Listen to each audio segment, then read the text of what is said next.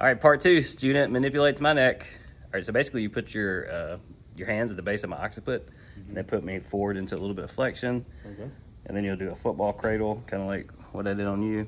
So push me a little more forward with your with your back fingers. Lower your hands just a little bit. This one?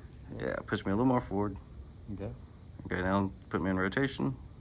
Which one? Now let's go to the right. Let's go right. Yeah. There you go, and just keep using that hand to push me forward. Okay. Okay, now rotate. Oh, there's one. That's fine.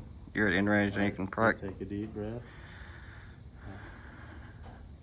Okay, let's try to go the other way because it already popped when you were on your Mhm. on your way. All right. So same thing now. Your right hand's up my occiput. Yeah, just push me on forward into flexion. Okay. If you didn't have this humongous bicep in the way, All all right. right, a little more flexion. A little more flexion. Mm-hmm. Okay. And keep turning, keep turning, keep turning, keep turning, keep turning. Okay. Yep. Yep. All right. There it is. Ooh, still alive.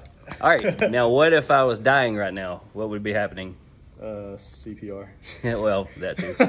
But uh, so, what potentially could happen if, if there was an adverse event with the cervical manipulation? Something to do with what artery? Vertebral. Vertebral artery, right? Do you know some of the symptoms if we had a vertebral artery issue or vertebral basilar insufficiency? I do not. That's cool. So one of the ways that you can kind of remember it is what's called the five D's. Have you ever heard that in school? Maybe. I have not. Oh, cool. This would be great for you.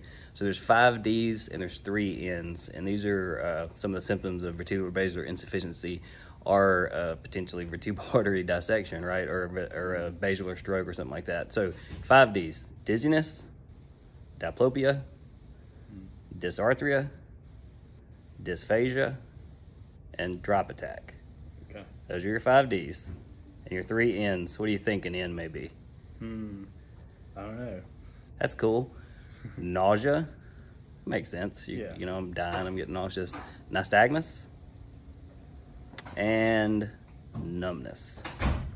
So, five D's, three N's are your symptoms from vertebral basilar insufficiency, uh, which potentially could happen after a cervical manipulation. That's why we do that vertebral artery test. Good job on the neck crack there. Feel better. Uh, just kidding.